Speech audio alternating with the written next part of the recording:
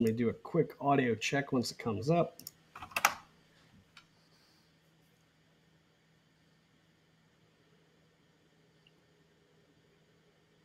All right, so we've got Google Photos and YouTube DL, which is more general general you tech news. YouTube, you want to do YouTube DL first? Um, either way, both of them are bad news, so it's not like we can we can make it any easier. It's 253, episode 253. Let's start with YouTube DL first. Okay. All right.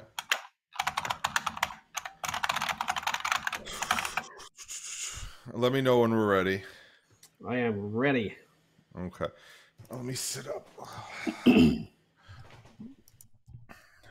okay. Three, two, one. Hello, everyone. Welcome to the Security Podcast here on the inThirty Network. This is episode 253. I'm Hyam. Tom is that way. Oh, Hi. that way. I'm mirrored. Anyway, so and then whatever he does in uh in production there. But anyway, it's been a long time, mainly because election stuff, and we don't want to dip into the election security politics nonsense of it. Uh, even in the WhatsApp group, we are starting to avoid that because there's lots of different views, and election security is a thing that needs to happen. But but there are other smarter people who can explain it. There's a whole village at DEF CON. You can you can read up about it, but it has been a thing people have been screaming about for years. Election security, election security, election security. So I mean, we're specifically talking about uh, voting in person at a machine and everything else, but and we've covered this a little bit before, but we wanted to stay far, far away from it because this is a security podcast and not a political podcast.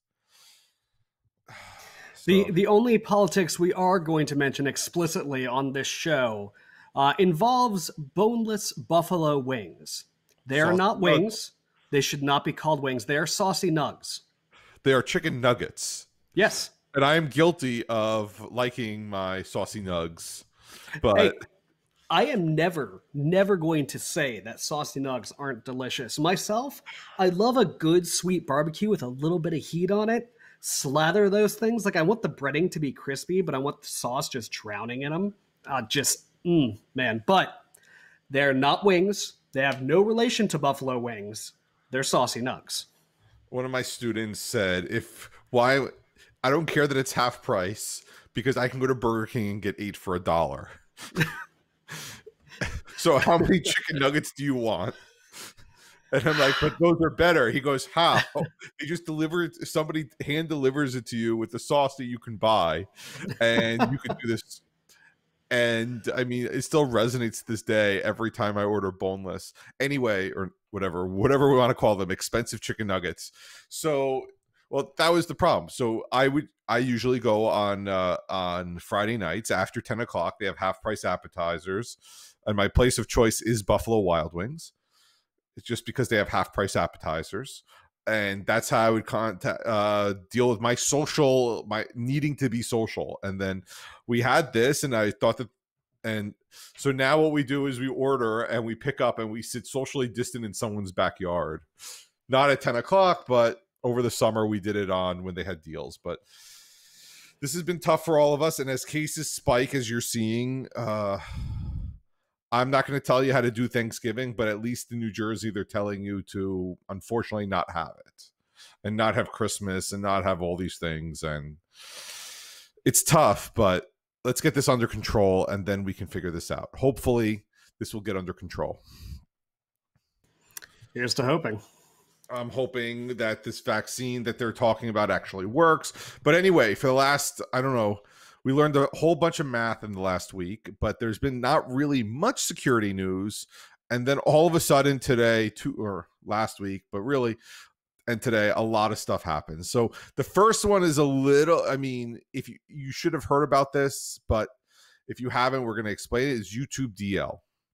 So YouTube DL is this uh, is this script that you can run on the command line and it will download YouTube videos, not just YouTube videos, but basically any media as long as you match the parameters, it will download it for you and save it and and it's just awesome because having YouTube videos on the download is really easy and really necessary for a lot of different applications. Basically, uh, they were throwing a, a um, DMCA or takedown notice saying that they're violating what's the Copyright Act, whatever Copyright Act it is, and they need to cease and desist.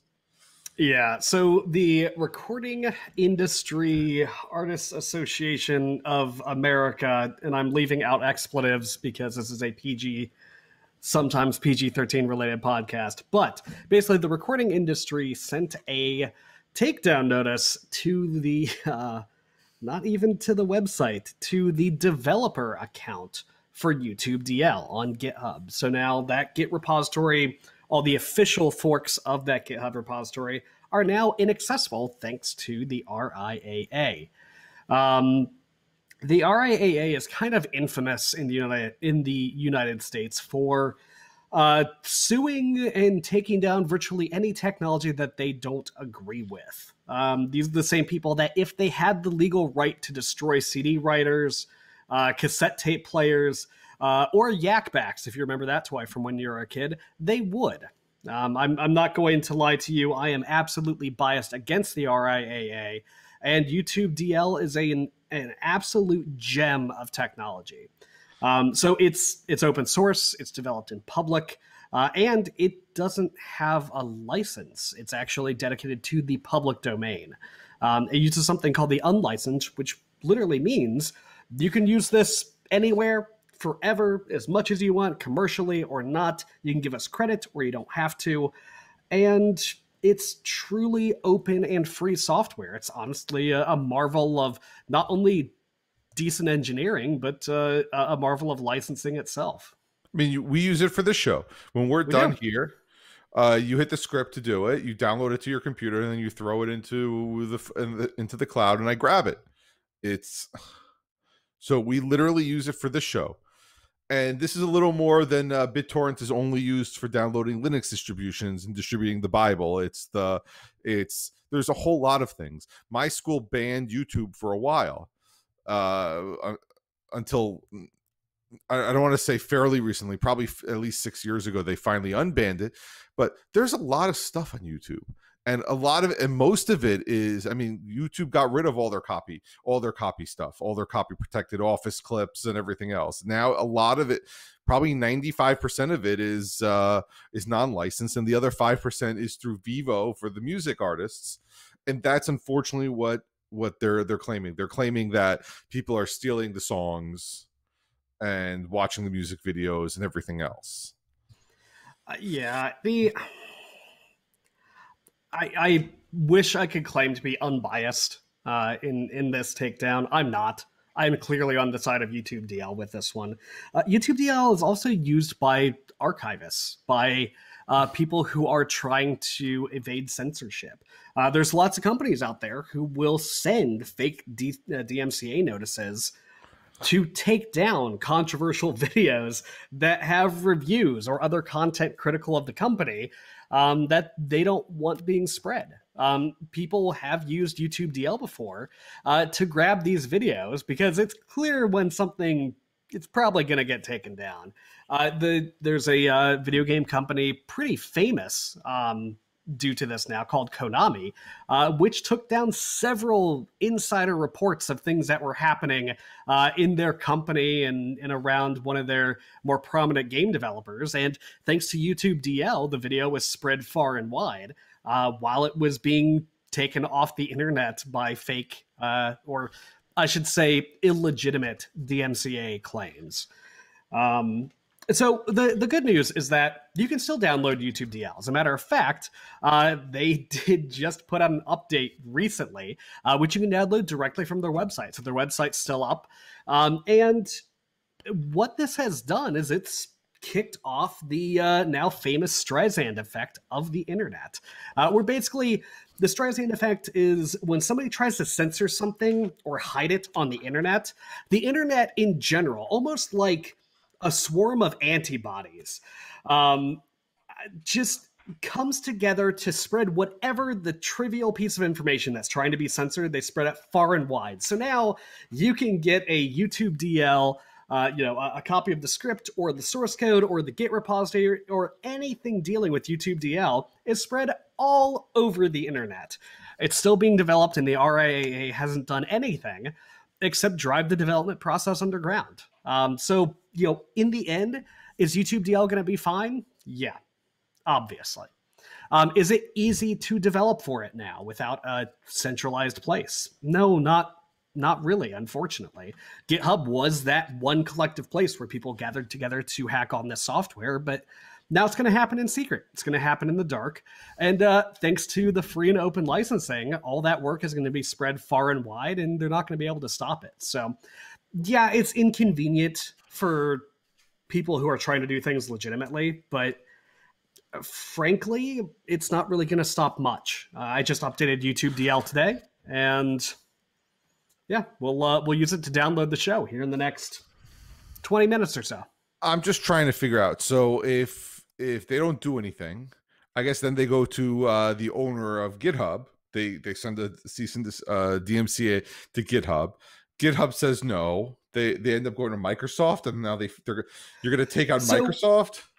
The they did not send, to my knowledge, not the RIAA did not send anything to the YouTube DL maintainers. Um, they just sent a DMCA notice straight to GitHub, and GitHub took it down. Um, the way the DMCA is implemented in most big places in the internet, most popular places, is that you can send a DMCA notice, which in YouTube's case will instantly terminate that video, make it unavailable.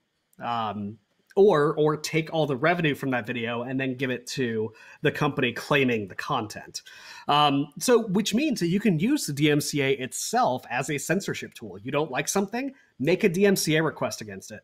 Oh, was that request invalid? Was it illegal? Was it any of these things? There's not really a punishment mechanism for filing false DMCA requests uh, without somebody actually suing the person who did it uh, which means that companies can make any kind of frivolous DMCA request.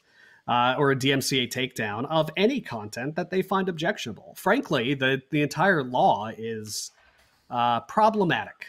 We'll we'll put it that way. Well, basically, I'm really really trying is, to keep.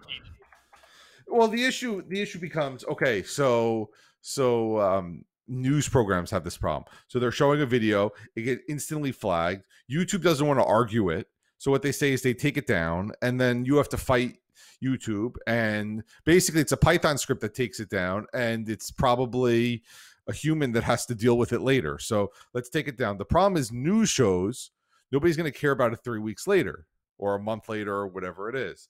And if you rack up three strikes in that time period or six or whatever it is, you can get kicked off YouTube. And and that's the problem. But what I find so stupid is my friend's wedding video they did a dance that was to uh, "My Heart Will Go On," and it was one of those. It got taken down. It's like it got taken down like eight nine years later. It was so yeah. strange. Or or what I love is the you have uh you have uh teenage daughters or whatever singing in a sleepover video that they're putting on and they're lip syncing or they're singing really really bad and they're like no this is a public performance or the other one, a ringtone, a ringtone on a bus. You have to pay a licensing fee for. It's just it's I get what they're doing. I get that they want to protect their their interests. I really really do. But it's you're you're finding the one thing it's this is bad because it aids encryption is bad because a thief may use it incorrectly. It's the same type of idea. We can't have encryption because the drug dealers or the mortgage fraud people or the child pornographers are going to use this and therefore we can't do it. And it's like no people bad people do bad things. The the only thing these DMCA takedown notices against software are going to do because eh, you know let's let's not split hairs hackers and nerds and people who live on the internet we're gonna do what we're gonna do. And yeah I'm, I'm including myself in this too because on my website you can find uh, ancient at this point but you can find copies of the popcorn time software. I made sure to archive those and put them up on my site. Uh, now is that software illegal? Sure according to the dmca it is Do I care? No, not really. And I am not in a unique position uh, amongst nerds that live on the internet. Um, the only thing this does is just make things slightly more inconvenient, but it doesn't actually solve anything. The RIAA can claim victory and parade around all they want, but the only thing they've done is just make YouTube DL more resistant. There are now more copies of YouTube DL out and around on the internet than there ever were before. And as a matter of fact, thanks to the news cycles on this thing, uh, more and more people are downloading and using this utility than were before. So it's really a, a self defeating prophecy. Um, or now people really... are going to make websites that use it and then fill it up with ads and malware, and people are going to go to all those sites and have the problem. Yeah. So I I use YouTube DL all the time for a wide variety of things, both you know downloading high quality videos so I can you know cut it up and make reviews and analysis of it, uh, downloading this show for instance, uh, or even we wanted the ability to back up our YouTube channel just in case YouTube does what they do best and blows something up. Um, so I used YouTube DL to literally download all of the inThirty Networks videos and put them in a storage location for safekeeping. Like that's not a nefarious act. I I mean we we literally we own the content. We are producing the content right now. We're not using YouTube DL to download music videos. We're using it for archival and perfectly fair use purposes. Uh, but the RIAA saw, you know, a couple use cases that didn't fit their nice, neat picture of reality and decided to take action. And frankly, that's disgusting. I mean, I I don't think we're going to hear any updates to this. Just I think because everyone's just going to ignore it. So we can't say we'll we'll update when we hear something. It's if you want it, go download it now. Find a way to download it. But, but like you said, I I don't think I think development's going to stall for a little bit, but I think that's about it. Yeah. Um. So just I mean, we try to to look at the nuance in a situation. We we really try to not take sides with these things. Um, I'm not going to act like I'm neutral here. I'm not. Uh, you can go to youtube-dl.org uh, and get yourself a copy of YouTube DL. You can get the source code in, in a gzipped tarball. Uh, you can get YouTubeDL.exe right there, or YouTube DL if you're just on a Mac or on a, another Unix system, and use it wherever you want. Uh, so go out there, have fun, and download some videos. I mean, I have it installed. I may have used it once or twice, but it's one of those. I would like to have it, and I don't want to have to go hunting for it. But anyway, so we're halfway, and we're talking about we were talking about Google and everything like that. Google has killed an actual product that many, many, many people are going to find near and dear to their hearts. And they didn't kill it, so I'll, I'll stop there. But YouTube photos, give you a second. YouTube Photos is now going to go paid. Google Photos. Oh, you yeah, well, the same company. Google Photos. Sorry, Google Photos is now going paid. Asterisk. Not it's not fully paid. It's weird, but for the most part, is let's first start. Google Photos was this app you took photos with your phone or wherever and it uploaded it to the cloud and you had a really nice UI. It did some machine learning and and stuff and it was simple to use. I, think everyone loved it. They gave you unlimited free, whatever they called high quality uh, storage for no charge. And basically, it took over the internet. That was what everyone used. Today, they said starting June 1st, 2021, you get 15 gigs free, and then you have to pony up for Google One, which is their storage solution, essentially saying, we now care about the money. We don't actually want your photos unless you pay us. Uh, yes, yeah, so they didn't kill it. They just they just gave you something else that you have to explain to all your non-tech friends on why they're getting notices that they have to pay. Yeah. So the the details around this is starting on June 1st, and I'm reading this directly from 9to5google.com.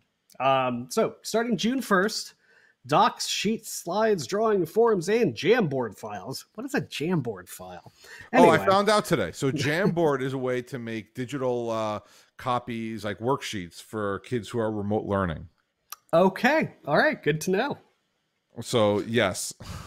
So uh, all those will count towards your free 15 gigabytes of allotted storage uh, or any additional storage provided through Google One. Um, like photos, existing files will not count and be exempted. So basically, starting on June 1st, 2021, any new photos that you add to Google Photos will start counting up towards that 15 gig limit. Uh, whereas before they had like I know originally it was like free unlimited backups of the original sized photos, which is pretty cool. Um, then they pulled that back a little bit and like, well, we're only going to do unlimited backup for like your high quality stuff, not the originals. Just we'll we'll compress it a little bit, but hey, they'll still look good. Um, and it's uh, so so I actually printed out two photos. I printed out the raw shot on my full frame Sony A7 and I printed out the whatever they called compressed. And I did this on three different files and I gave it to people. And to be honest, it was 50 50. People couldn't tell the difference, so they were just picking. So essentially, from the high quality raw that was compressed to the JPEG, they could not tell the difference. And and eh, I say is as a backup, Okay. If you can't tell the difference, then compress it all you want. As long as you can't tell the difference, what do I care? Because it's a backup. I mean, yes, you always want to have the original quality, but if you have it somewhere else and something happens, at least you have the backup. So that was the the high quality, and I think they said anything under 16 uh, megs would be would be original. Anything over 16 megs, which at that point every iPhone photo was full size because they weren't using the full 16 megs. So it was just your raw files that were being, I think it was something over 12 megapixels eventually got compressed. Okay. Cameras didn't have that. Now they're getting it. People are taking hundreds and hundreds and hundreds of photos. And they're starting to realize storage is getting to be, even though it's cheap, it's still expensive. I think they said they have 4 trillion photos that they have to deal with. So I understand what they're doing. The problem is, is that you build this as a free service. You got people there, and now what? What do you expect people to do other than buy your your Google One service, which which again they say 15 gigs but it's 15 gigs across everything that's across your your email which they remember they said it was unlimited remember the unlimited gmail uh then they said docs your sheets and and doc files wouldn't count now those will start counting so now it's literally you get 15 gigs, other otherwise you have to pay. And it's just really annoying that it's it's as people said, it's a bait and switch. They got you hooked and now they're saying pay for it.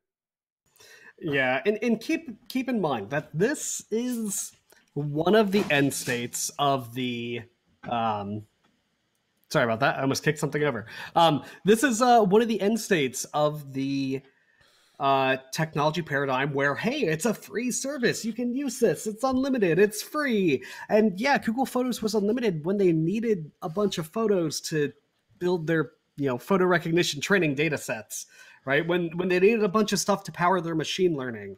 And now they're like ah no we've got we've got plenty of photos or the cost is now outweighing the benefit. If you're not paying for something you are not a consumer you are a product and you will be treated as such. The problem is um, now you're going to pay for it and you're still the product, which exactly. is now, now we're moving into you have to do it yourself to not be the product. Yeah. So they will only screw you over a little bit and not fully. But it's it's somebody I mean, remember we talked about this. I moved to the iPhone, and why did I move? Because this was the writing on the wall. I'm just two years later than Tom, on this, but here's a service that we actually use. Remember, two weeks ago they killed the Ring Secure system.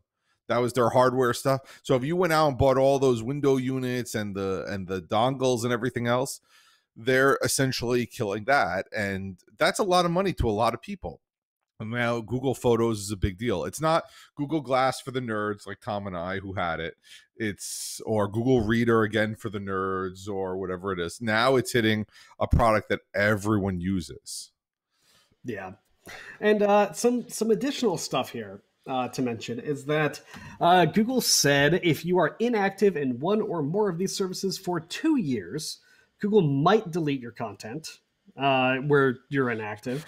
And uh, if you're over your storage limit for two years, Google might delete your content across Gmail, Drive, and Photos. And that's kind of outlandish. Uh, they did say that they will notify you multiple times before they do that, but yikes, this is looking bad. Uh, now, for for other things, um, it looks like some of the Pixel phones won't actually be included in these product changes because they did advertise the Pixel phones specifically as having unlimited storage. Um, which unlimited storage you get depends on which Pixel phone you have. Um, and if they decide to take that away, there could be class action lawsuits about selling you one thing and then taking it back later. So for now, uh, let's see. It looks like yes, the original Pixel, uh, Pixel, Pixel 2. 3, Pixel 3A, um, and then the Pixel 4A, 4, 5G, and 5 looks like do not advertise the unlimited backup. So if you've got a Pixel 1, 2, 3, or 3A, you should be okay for at least uploading in high quality. It- that also ends at some point. Yes, it, it, it also ends after like four years or whatever it is basically the life cycle of the phone. And and again it's it's fine if you want to make this a mausoleum and say okay all my photos up to the year of june 2021 are here and then i'm going to move services which you can do but i don't think that's the workflow you want. I, I mean i think it's it's like we keep on saying that google photos is a perfectly respectable backup where you can move your photos there and you don't have to worry and everything else. Now it's one of those you have to pay something and maybe you're on android maybe you do your school your your your kids school uses google and maybe that's what you want to buy. Google i've had google one service. It's it's a bucket of storage. It's it's $20 for a year gets you more than enough and you can split it and everything else. There's nothing specifically wrong. And then i mean if you're in the google ecosystem that's fine. And if you're in the apple ecosystem icloud is probably where you want to go. Uh my problem is my wife is in dropbox and i don't have a system but i do not like dropbox.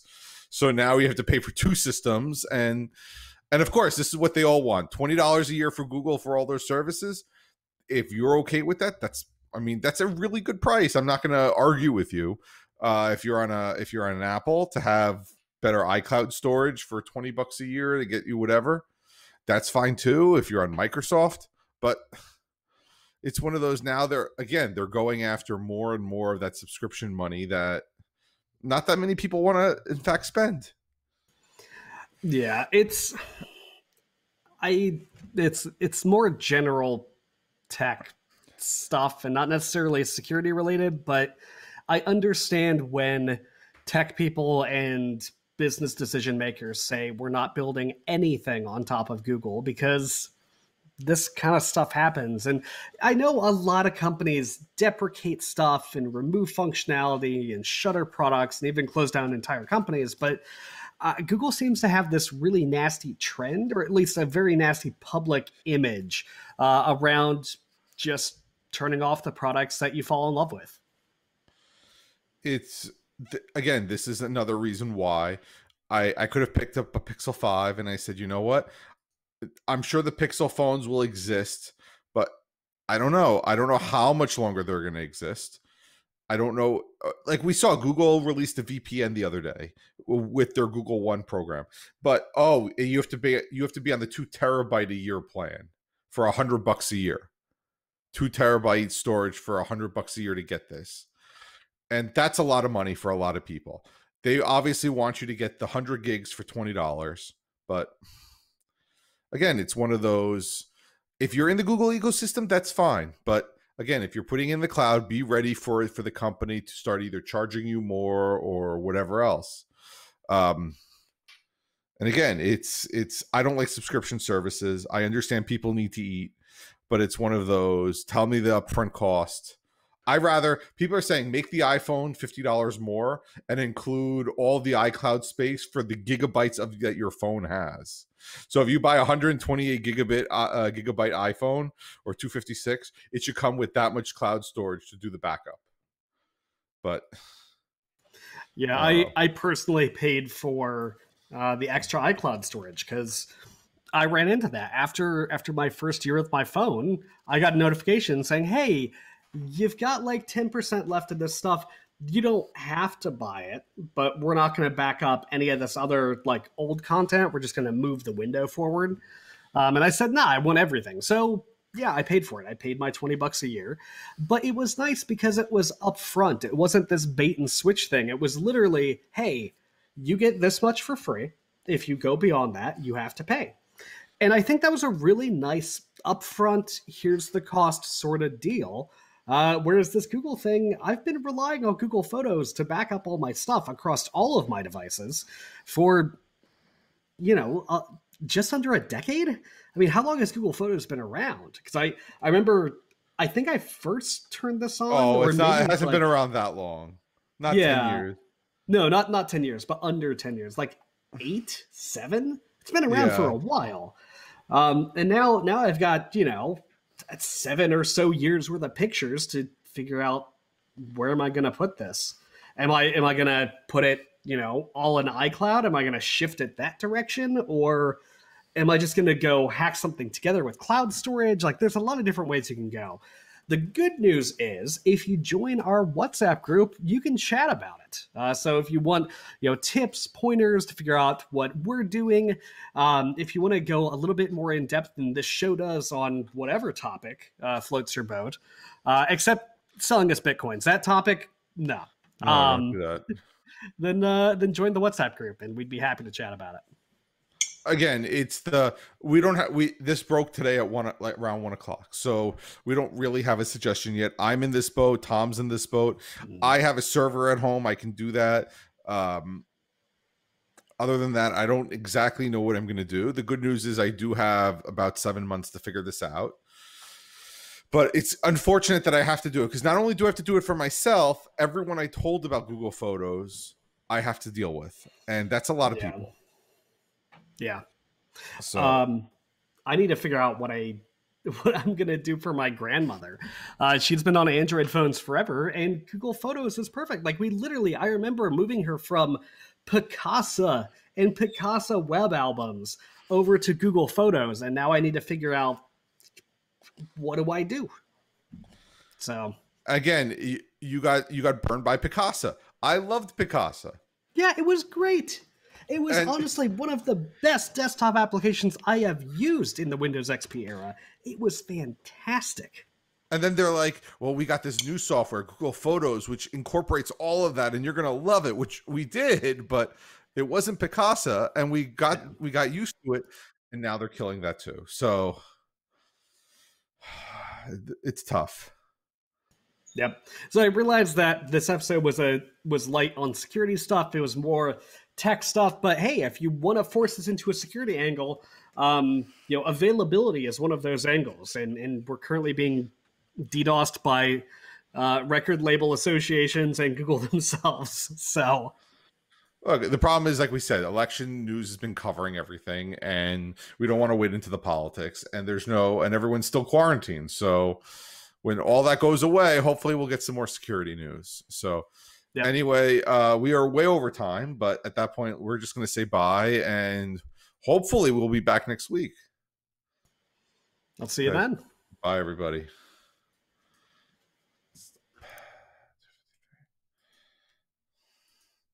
Okay. Yeah, we should come back next week because the week after is going to be Thanksgiving.